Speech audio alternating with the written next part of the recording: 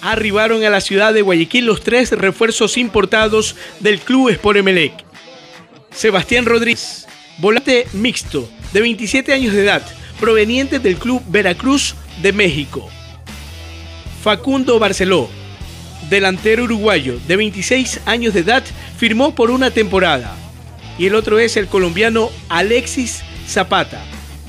Su firma fue de cuatro años y adquirieron el 50% de sus derechos deportivos.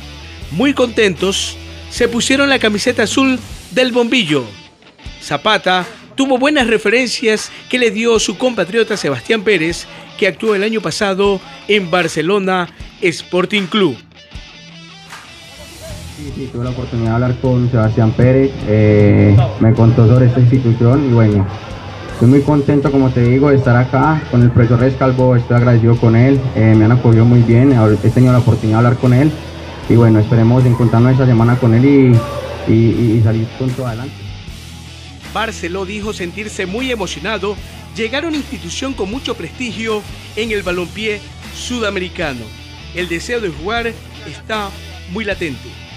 La verdad que, que llegar a un gran club, a un club grande, a pelear eh, títulos fue lo que, lo que me motivó. Y bueno, eh, las expectativas son las mejores, tratar de, adaptarme lo más rápido posible al club, al, estilo de juego de, del equipo y bueno, como te digo, ir paso a paso para obtener grandes objetivos. Rodríguez espera adaptarse lo más pronto posible al sistema de juego que practica el español Ismael Rescalvo.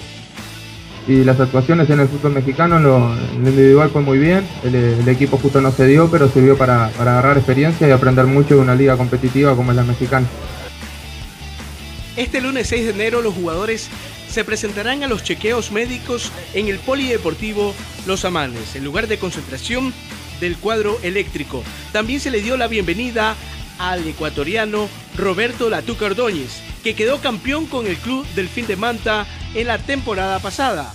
Firmó el contrato junto con el presidente Nasik Nementón. Informó Javier Salazar.